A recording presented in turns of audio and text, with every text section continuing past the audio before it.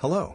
In this video, I would like to share with you the flow of storm water and gray water from my house to the nearby river. Enjoy.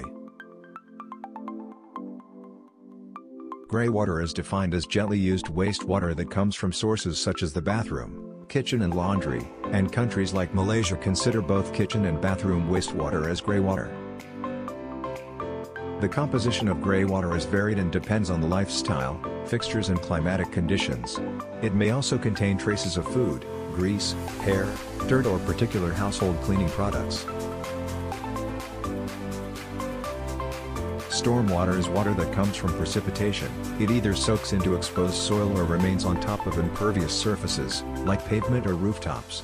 Stormwater will eventually evaporate off of a level surface, but most often it flows as runoff to another location.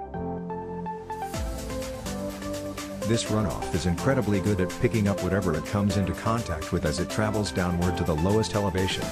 Dirt, nutrients, trash, stormwater does not discriminate. By some twist of fate, the nutrients that it picks up as it travels actually cause significant damage to the surrounding ecosystem.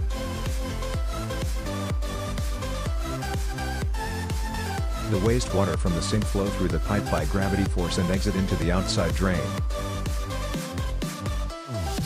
Bath water flow out into the drain while toilet water was flushed into the septic tank. Gray water from the sink and the bathroom will flow into the surge tank that acts as water pressure neutralizer. Some of the gray water were let to flow from the tank to avoid it from being flooded during monsoon season. Some of the waters were absorbed by the soil and vegetation while others infiltrate the ground and flow as groundwater. Wastewater from the toilet flow into the individual septic tank to be stored and treated. The septic tank only provides partial treatment of the sewage that flows into it and needs to be desludged on a regular basis to ensure that it functions efficiently. For desludging, Indah Water will be called to send a tanker that will pump out the sewage from the septic tank to be treated at their facilities. Rainwater that fall into the roof, will flow through the pipes by the power of gravity and then, enter the drain.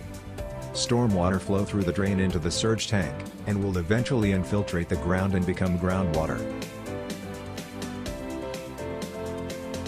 The current gray water and stormwater treatment system at my house is only applicable for primary treatment and has low efficiency.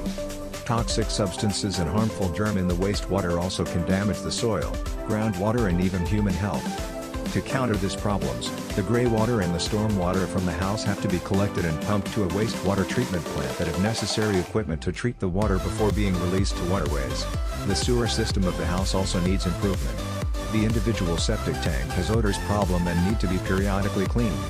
For alternative, vacuum sewage system can be applied, Sewage from the house flows by gravity into a tank from which it is pulled out by vacuum pumps located at a central vacuum station and then flows into a collection tank.